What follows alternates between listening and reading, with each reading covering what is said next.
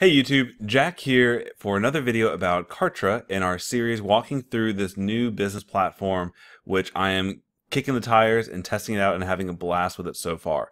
In the last video, which I'll link up here in the corner, we talked about creating an entire list building funnel and we did that from start to finish and it took just a couple of minutes on day two of using this new platform complete with email integration and some beautiful landing pages. In this video, I want to talk a little bit more about the email system and specifically show you a little bit about the analytics, but most importantly, show you some of the amazing automations you can trigger off of a broadcast. Let's go ahead and dive into it.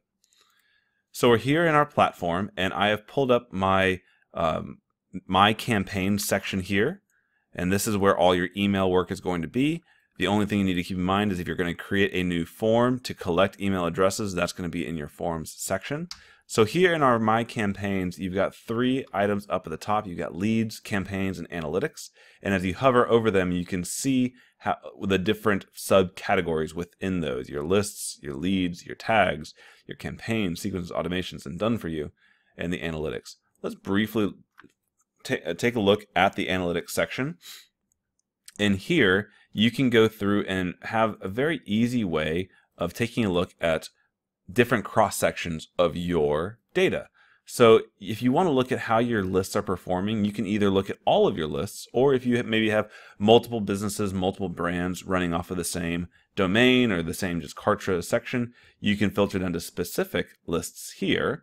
For example, I like to play around in the options market, so I have an options trading list here, and you can show that just after a couple of days, the growth of that list, um, as well as all your lists here. You can also take a look at what metrics you want to pay attention to. If you want to clean it up, you can do one versus the other. You can add revenue in, or you can compare all the metrics day by day.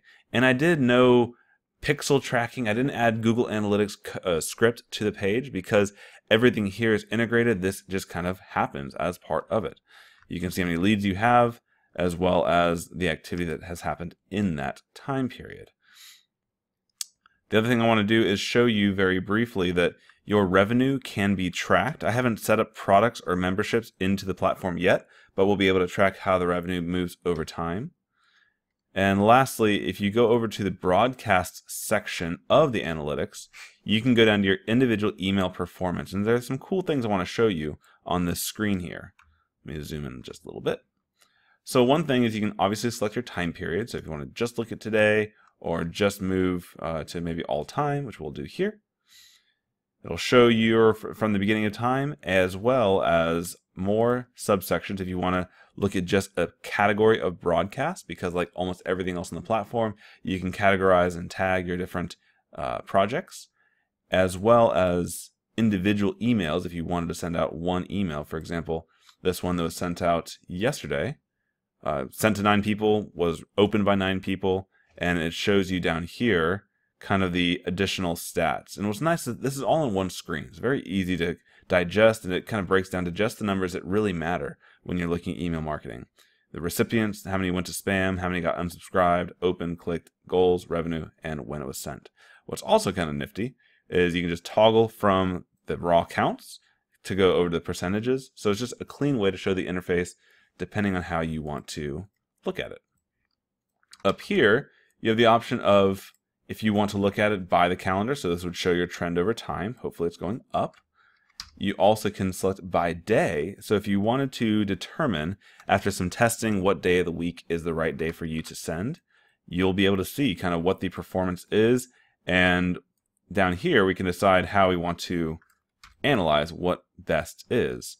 So if I click on compare all, you can see that Wednesdays are my best days, but that's simply because I'm just starting. So as we go through, I'll definitely be broadcasting every day of the week and be able to come here quickly and not have to do a bunch of work in Microsoft Excel or anything to kind of figure out where is the right place for me to be. The system is going to tell me pretty easily. And then finally, you can see by time. So depending on if you're sending emails in the morning, afternoon, or nighttime, uh, where you have the best open rate, click-through rate, goals, etc. So very cool on the analytics side. Definitely having a good time here. And I also kind of messed myself up because I was only showing the one email. I was sub filtered so you can see kind of how the different days have performed as well as uh, some clicks there. So what I want to cover as far as new features here is let's go ahead and make a broadcast and I want to show you a feature that is maybe easy to overlook but extremely powerful for smart respect based internet marketers. What I mean by that is so often people will just blast the same list all the time no matter what, how that list is feeling. If they're warm, cold, or kind of somewhere in between, every person's getting the same message. And here, there's many ways for you to segment your list, but this is a way that's kind of relatively passive and and just very insightful and, and easy to use, in my opinion. And it's called adding points to your list or adding points to your subscribers. So we'll do YouTube points walkthrough, and we're going to create a new um, let's just no, no category in particular. When you create your broadcast, it'll walk you through the steps. Let's say you want to send an email. I have not yet tested sending SMS. Um, I'll go ahead and blast past here. Blast past here. And let's just send the email as this example to everyone in the database. So we don't need to break down that yet. And here you go. So it's very simple. Uh, you, will see exactly what should be expected as we go through. So the four blocks shows kind of, um, I'm in the process of bringing old cold people back into my list. And so obviously I'm going to start seeing some people that have blocked the information. And here we go. So this is pretty cool. I, I, will definitely be doing a future video about A-B testing versus single emails, but not, it's not the topic for tonight.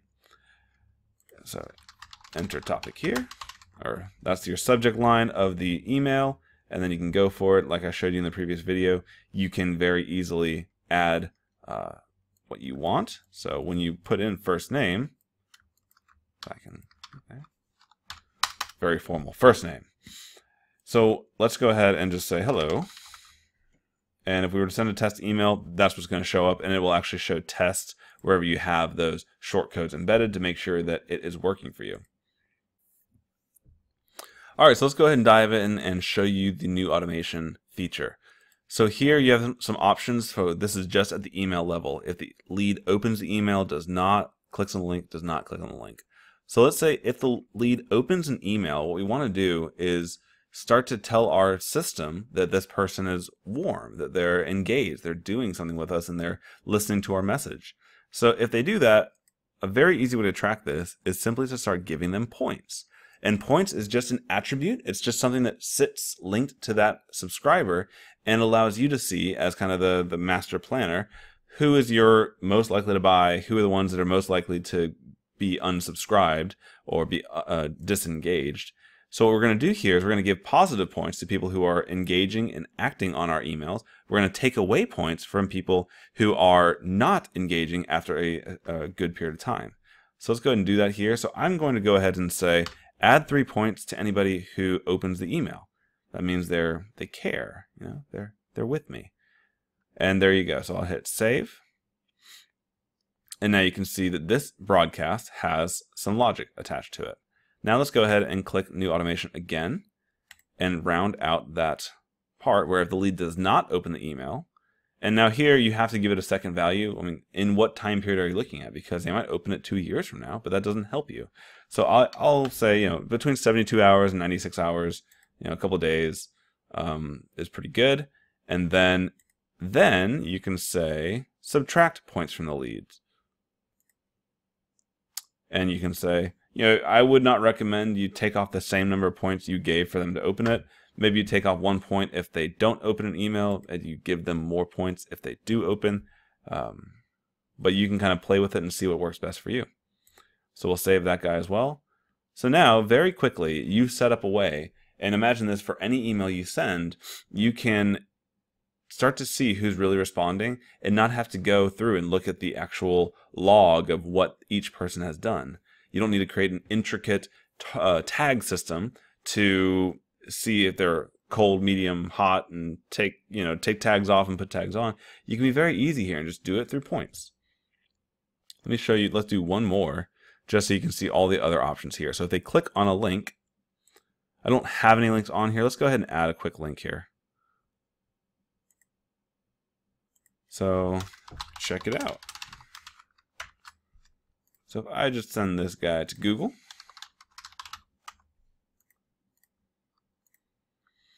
and there you go, there's my link. So now, if I create an automation and say the lead clicks on a link, and it will automatically pull um, all the individual links on your page, as well as saying if they click on any link, they click on this, then you have even more options here. So you can subscribe them to a list. You can kind of read through this here, but you got a lot of different options. Uh, what I really like is where you can actually grant access to a membership straight from an email. So if let's say you create an opt-in that is linked to accessing to giving access to a free membership site, that's great for the people that are opting in at that point. But what about your existing list? Do you send them to another opt-in page and like give them another uh, piece of resistance from following through and getting access to your membership? Well, you don't have to. Here, you could create a link in your email that takes them to the home page of your membership site and then add the automation in here where if they click on that link, then give them access to the membership. I'll be testing that in the future to see if the timing works that real time. You might need to send them to a confirmation page saying thank you and you'll get your information shortly and, and then have them go through that process. But just imagine the possibilities here even refunding an order directly from clicking a link in an email. That's crazy. I, just want to take a look at this. So if you say this, I'm making some example um, products here. I haven't worked with it yet. Wow. So you could say refund a certain price point if they, wow, that's that's. I'm gonna sit back here and just kind of think about that for a second because I'm I'm not like joshing with you here. Like that's a seriously powerful thing. Um, didn't expect it to be able to do that. And hit save. So then at that point, if you wanted to proceed, you could send and schedule. And what's nice is that it will give you recommendations. I haven't gotten there yet, but it'll give you recommendations on when it thinks would be the best time for you to send. And I'm not sure if that's going to be dynamic to the filters you use to send it. So for example, if you have three different lists, I don't know if this is going to recommend which is the best time for each segment, or if they're just going to look at your entire database of people and give you a recommendation. But I do intend on emailing the small list that I'm nurturing right now uh, on a pretty regular basis. So I'm sure that in a future video we will start having recommendations and we'll give you a full review of that as well. So what we covered today was the email campaign analytics as well as creating an automation inside of the individual broadcast. In future videos, we'll dive much deeper into the amazing capabilities and, and things I'm really just, I'm smiling just using this thing, which is weird because normally you want the output, you want the effect, you know, the, the result of using your tools, but using the tools isn't always where you get the fun and the enjoyment here is actually starting to shift that that whole perspective and I'm really having a great time here. So if you enjoyed this video and want to kind of check out for your own $1 free trial, I'll have a link in the description below that you can check it out, give them a buck and uh, test drive it for a couple of weeks and see what it does for you. So I'm Jack again. I'll talk to you guys in a future video. Take care.